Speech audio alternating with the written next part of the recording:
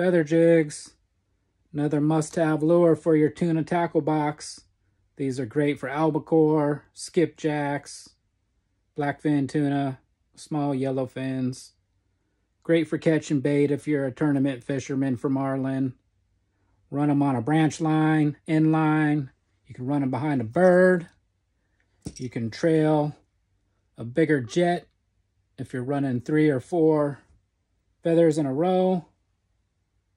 If you're just running a single feather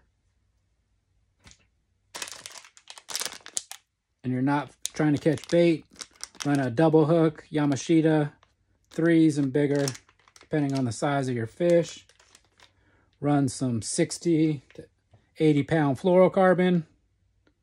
Has more abrasion resistance than normal mono.